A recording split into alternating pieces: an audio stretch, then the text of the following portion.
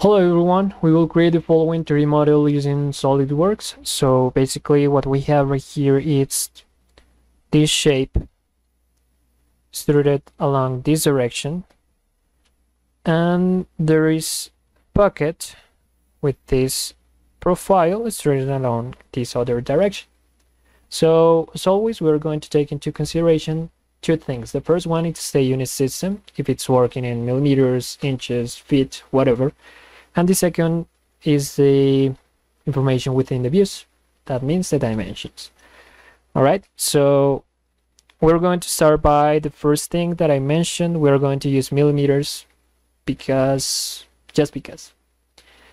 Well there is a actually a reason but I want to to save that for the end to for the end of the video because I'm going to say some things regarding the engineering drawing and this is a perfectly um, perfect space for me to do that after the creation of the 3D model because I think it's important.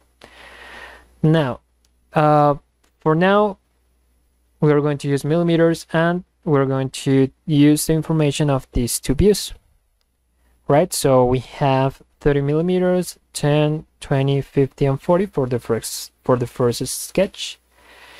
Uh, right here, we have the extrusion that I mentioned before, the extrusion dimension, so 40 millimeters.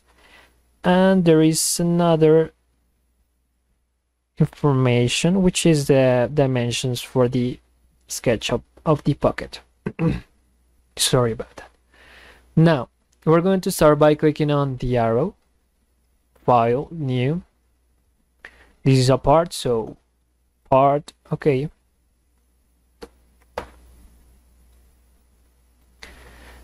Now we will click on sketch, um, sketch once again. I wanted to create that sketch as my right plane. That means my lateral view. So right plane. I want to know if I have the, nope. Want to know if I have, I wanted to know if I had the, the rotation on, but it is currently off. So now uh, we will click on the line tool for us to create this sketch. So basically you just have to create a sketch that is proportional to the one that we have right there. We don't really care about the dimensions just yet right now this looks like the profile that we have on the engineering draw okay and okay once again. Now smart dimension. Now I do care about the dimensions so this is equal to 50 millimeters. 50 enter.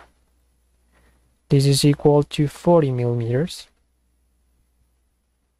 40 enter. This is equal to 30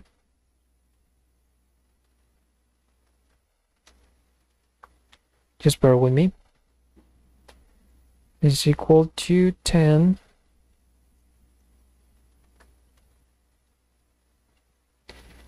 and finally this is equal to 20 millimeters. All right. As you can see this sketch has not been created correctly. Why is that? Because there is still some lines that are in color blue that means that I can move it. A perfectly defined sketch is all black. All the lines are black. Now, what happened right here is that this point and this other have to be at the same vertical line right so I do that by clicking on the both of them using the control key so once again click control key click once again and I select the relation or the constraint vertical. Right, as you can see everything is in color black, every single line is in color black. So I cannot move anything, as you can see right here. Now, we are going to features extruded boss base 40 because uh, this is 40, millim 40 millimeters. Enter once again. And I'm going to enable the rotation once again. Now we'll select the sketch once again sketch once again. And we're going to create this sketch taking into consideration this face. So we will select it. Control 8 for, for us to be working 90 degrees with respect to the screen disable the rotation and we will create the sketch for the pocket which is the final step. Now there's two ways in which we can create this sketch because it is symmetrical. The first one it is basically using the line. I'm going to create the profile so it looks something like this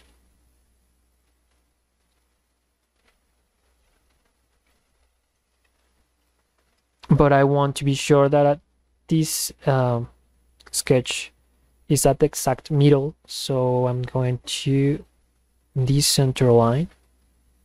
And basically I'm looking for the middle of this line. It is showed right here in color yellow. So I'm going to select it. And now I'm looking for the middle of the other which is this is pretty cold. So yep this is working for me. Now once again what I did was to look for the middle of the part which was showed in color. So you can see in this squared let me see if I can show it. Right that is that yellow square um, after that I just have to click at the bottom of the of the lines uh, right on the edge and be aware that this is vertical right that way I can be sure that I'm I have the middle of the board. After that I'm going to select these two and click uh, click on uh, equal after that, I'm going to select these two once again and click on equal. Alright, that way, if I move this one, it is not going to, to change it. But if I move this one, everything, that, uh, how can I explain it?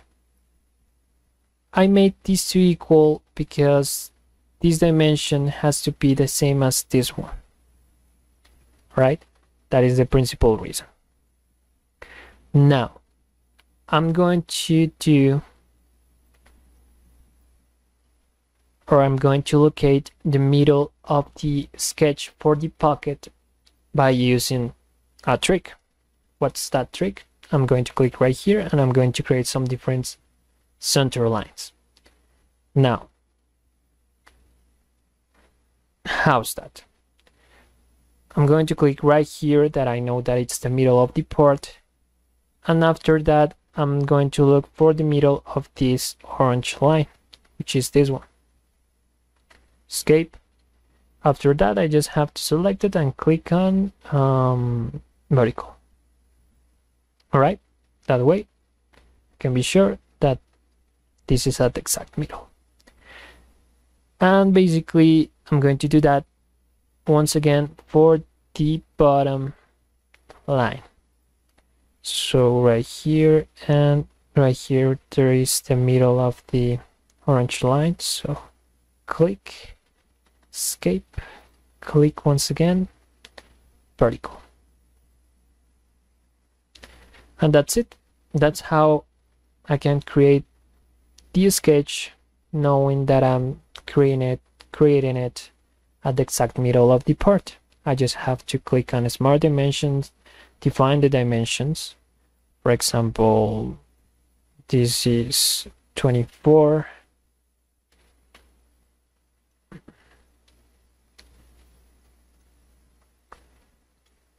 This is 12, I think. Yep.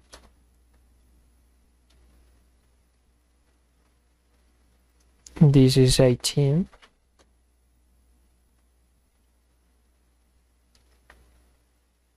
and finally this is 17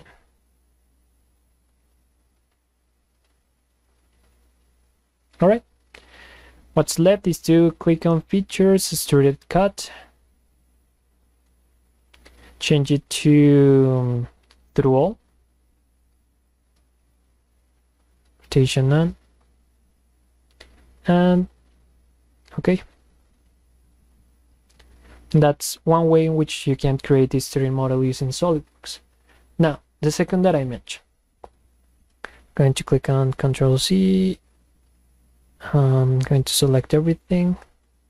Delete. And I just have to create the half of the entire sketch. So click right here, center line, because I need to be aware of the middle of the part. Mm right there we have the middle of the part and basically we just have to create half of the sketch. Because basically it is symmetrical.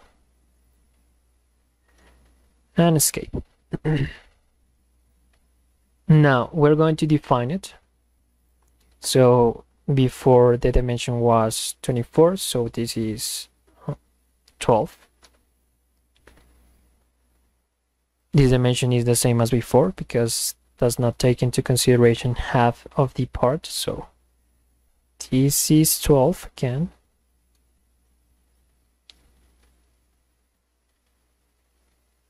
This is 18 because of the same reason. Sorry, not 28, but 18.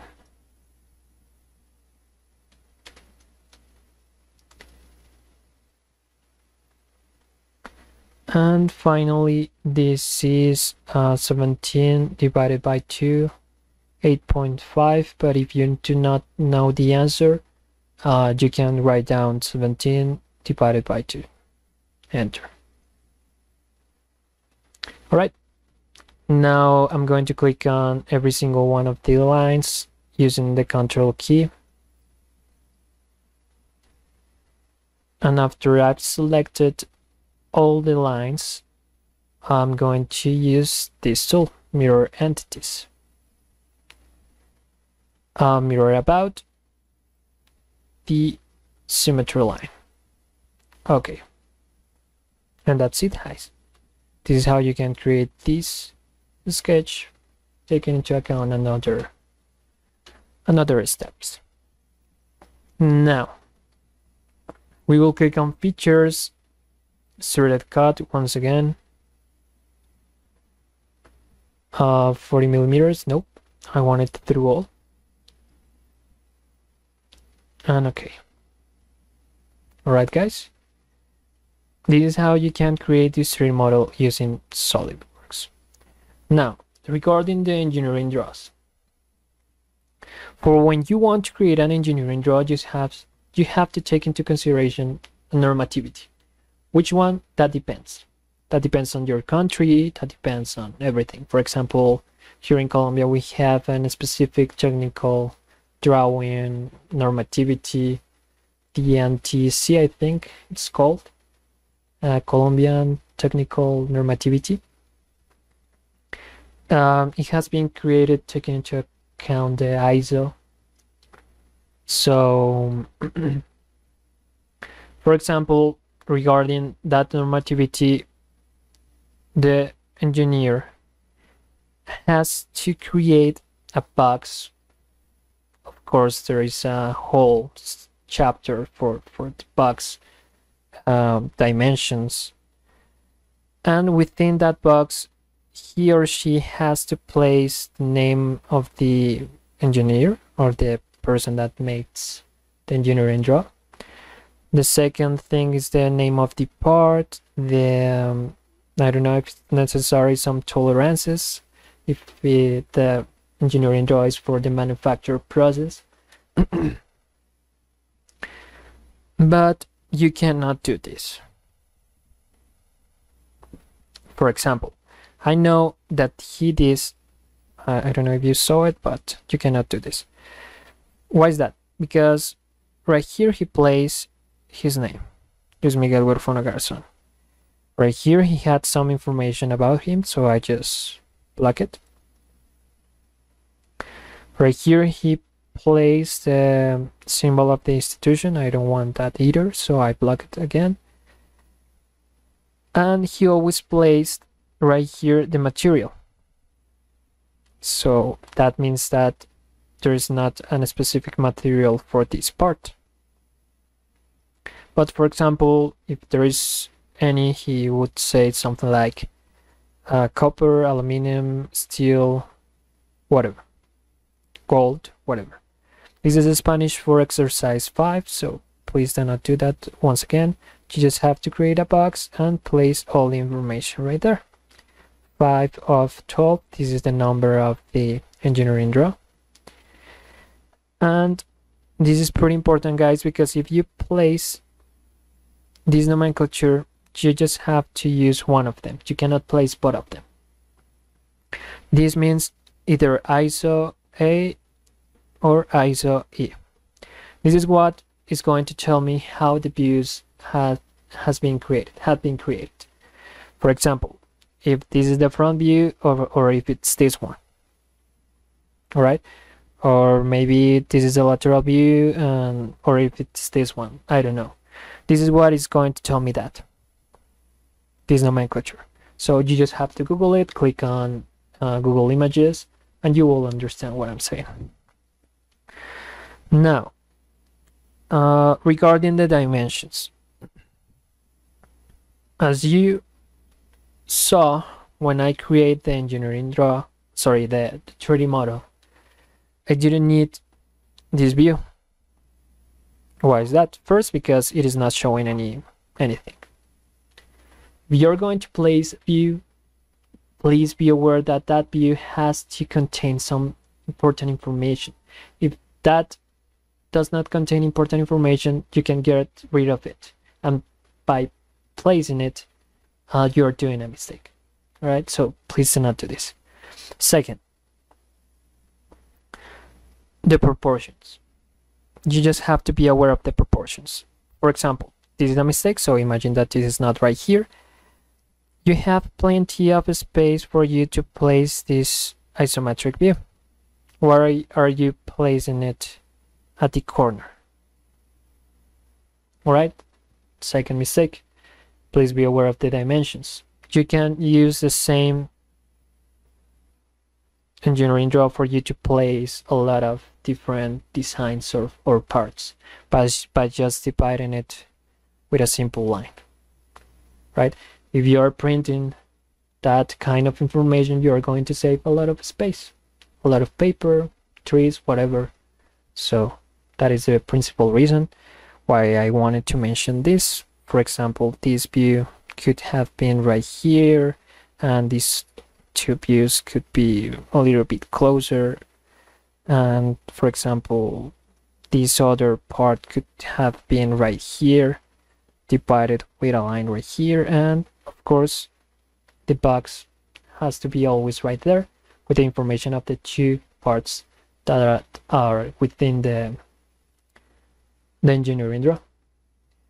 That is what I wanted to mention guys. Uh, it's a pleasure to meet you because I didn't do the videos with my face before. I didn't want to but at this moment I I realized that I wanted to do some some videos with my face on it. And this is pretty much it guys once again. This is how you can create this 3D model using SolidWorks